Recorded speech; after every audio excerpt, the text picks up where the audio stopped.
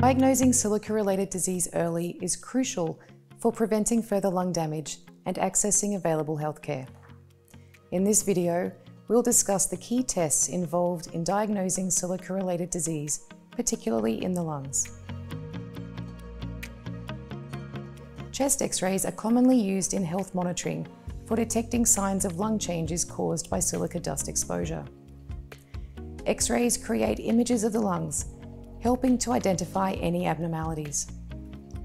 One of the key indicators of silica-related disease on an X-ray is the presence of nodules that can be seen on an X-ray. These are areas of thickened tissue in the lungs, or the pleura, which is the lining around the lungs. Plaques can also be an early sign of silicosis, but it's important to note that their absence doesn't necessarily mean you are free from the disease. In some cases, silica-related disease may be present even if nodules are not visible on the X-ray.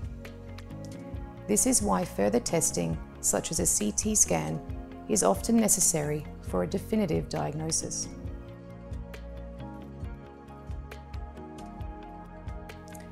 While X-rays provide an initial look at the lungs, a CT scan is the gold standard for diagnosing silicosis.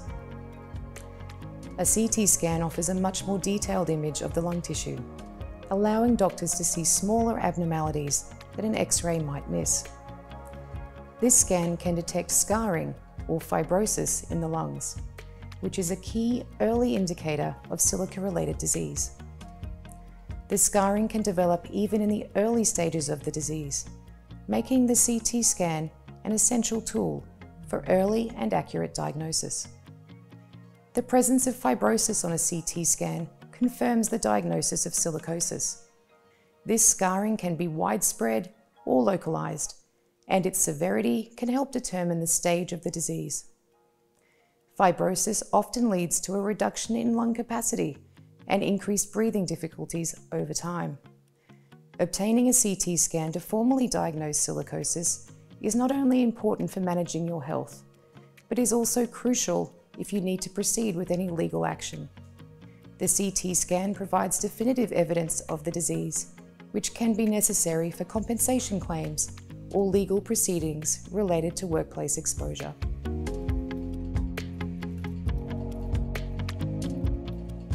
In addition to X-rays and CT scans, other tests may be conducted to assess lung function and rule out other conditions.